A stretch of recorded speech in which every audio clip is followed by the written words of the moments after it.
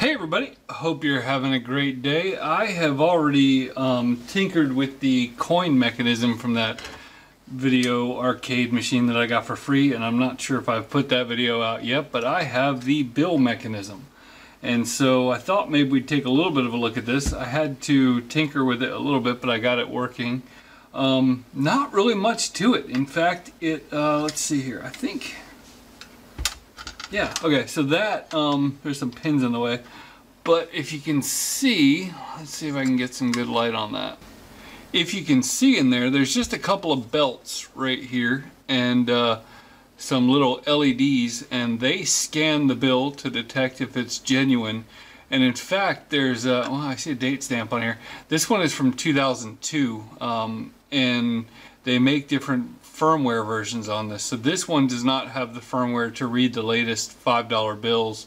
Um, it will read some of the other bills, but uh, not that's in 2008 I think is when they made the the five dollar bills bigger um, and so you can snap this together and then I had this apart earlier and uh, sorry I had something pop up my screen the little motor in there the little circuit boards and you can actually pull this board out and that's where you would upgrade the firmware to another version there's really not much to to look at in there but what was interesting is trying to get it operational. There's a little bit of information out there about this thing, but not a ton. And so I wound up, um, I found it like a two-page PDF that gave me what the wiring diagram was. And let me show you a little bit about that. Uh, while I'm putting this back together, on the left here is a board that I bought from AliExpress a long time ago. And I don't even think it ever made it into a mailbag video, but this is uh, this takes an ATX power supply and turns it into negative 12, positive 12, uh, positive 5, and positive 3.3 volts. And I just printed this little enclosure because I was doing some work on my 3D printer, so I needed to, to tweak some things. But, um, you know, so many channels make bench power supplies out of uh, ATX power supplies. I didn't really feel like I needed to do one for my channel. Um, I, in my escape rooms, a lot of times, and maybe I'll put a picture up, but in my escape rooms, I would take uh, one ATX power supply and use it to power the entire room and uh, through like a little distribution system. But the main reason why I have this out as opposed to my bench power supply is because the ratings on this thing uh, use 5 volts and 12 volts at the same time. And uh, I figured out later that I didn't necessarily need both of those. And let me show you why. Let me get the biggest ATX power supply I own. Uh, it's just ridiculous. I had it in one of my servers. Uh, so I'm going to power this thing up. Now, if you've never messed around with the ATX power supply to um, to uh, uh, bench power supply modifications, you'll know that you need to put a little bit of a load across the thing in order to get it to fire up. And let's see, I think I have that off. Um, you need to put a little bit of a load across the power supply to get the thing to power up and there is a little resistor under that thing under the cover here that makes that happen so uh, I'm going to turn this back off and what we need to do first is hook up the orange slide the power supply all the way we need to hook the red up to 12 volts and the orange 12 volts positive the orange up to ground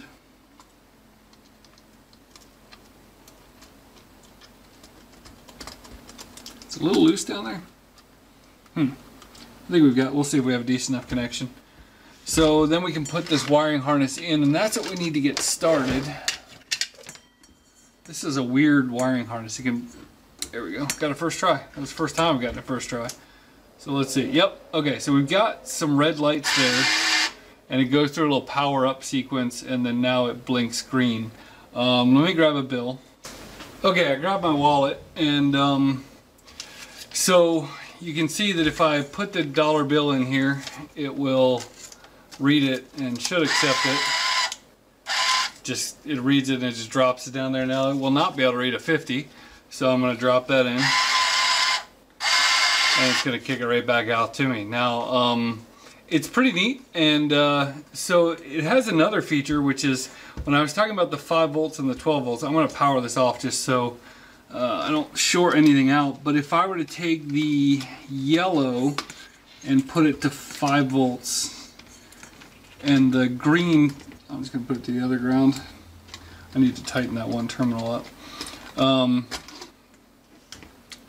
so if I put 5 volts here, you'll see something different happens. So, I'm going to boot it up. And now it's going to keep flashing yellow and it's going to refuse to accept the bill. So one of the things that's interesting about that is you can actually use the Arduino to send just a tiny 5 volt signal to this uh, thing if you want to make it not receive bills. So like if, if maybe if you're writing a little program for it and you only want it to accept bills at certain times, writing the 5 volt pin high will force this thing to not accept the bill and then when you disconnect that 5 volt signal uh, you can drop it back in here and accept the bill.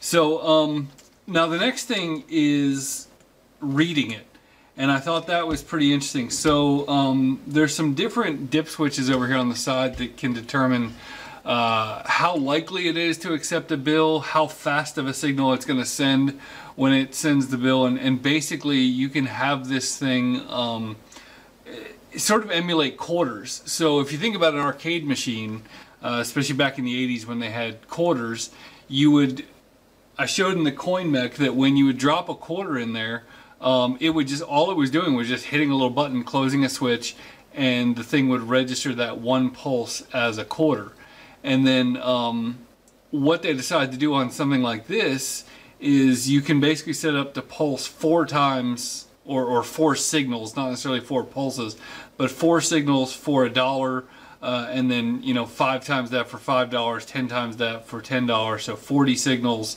would be ten dollars and it was basically like you were putting 40 quarters in the machine. Uh, so I thought that was pretty nifty um, but it wasn't readable. All the different pulse libraries and things like that on the Arduino I never got it to uh, to be able to read. So I wrote a little Arduino program. Let me go find the Arduino and I'll be right back. Okay, so what I've done is uh, I've taken the cash machine. It's powered up right now and just blinking green, ready to go. And I've hooked it up to an Arduino. So it's still being powered by the ATX power supply. But the blue wire, which we haven't used yet, is connected to pin 15. Doesn't really matter which pin, just any input pin on the Arduino. And the purple pin goes to ground. And you will see that if I put the 50 in, then absolutely nothing happens. But if I put the dollar in,